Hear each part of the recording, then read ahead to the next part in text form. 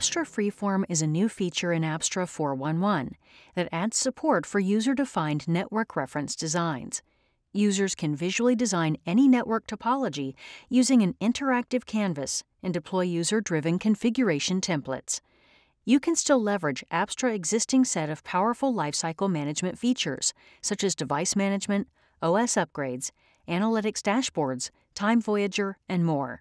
With the introduction of Apstra Freeform, in addition to the already supported data center reference designs, Apstra can now be used to manage data center networks of any scale or architecture.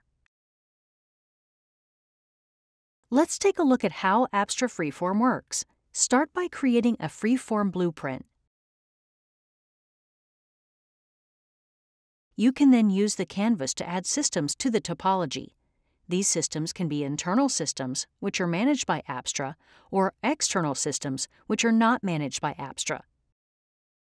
For each system, choose a device profile to model the hardware characteristics and the blueprint.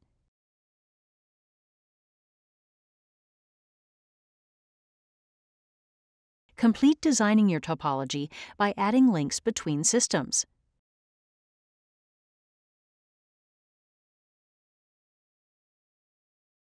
You can also use colors and tags to enrich the topology with operational context. The topology that you have designed can be inspected in multiple views, such as the Systems view and the Links view.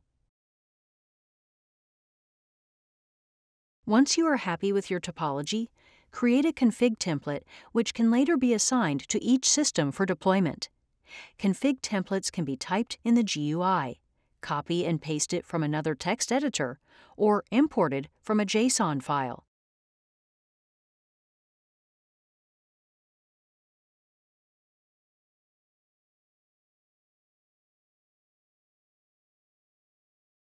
Config templates support Jinja 2 templating, as well as a powerful set of capabilities to help users tie their operational context with their config templates. Property sets provide a way for users to define their own set of variables to be consumed by the config templates. The three-pane config template editor allows you to browse through the many Jinja variables that are automatically generated by the blueprint and supports real-time previews of Jinja template rendering.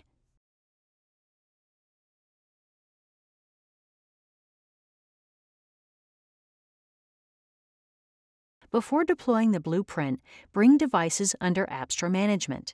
This is done easily by Apstra existing set of device management capabilities, like the GUI-based agent installation or the Apstra Zero-Touch Provisioning server.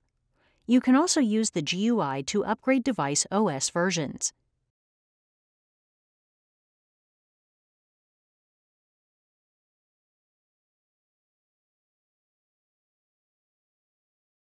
Deploy the blueprint by associating your devices to the systems and the topology. And then commit the staged blueprint. Once the blueprint is committed, the deployment status is monitored in real time, and the active network topology is validated against your design. The result of these validations are presented to you in the active blueprint and are updated in real time, which include link and cabling status, configuration deviation monitoring, and many more.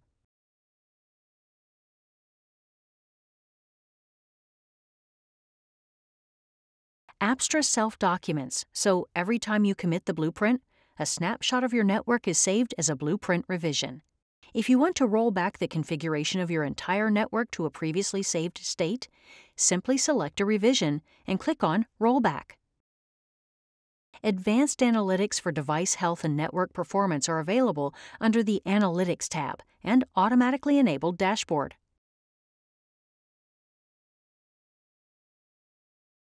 Alerts are generated when Apstra detects anomalous behavior of your network.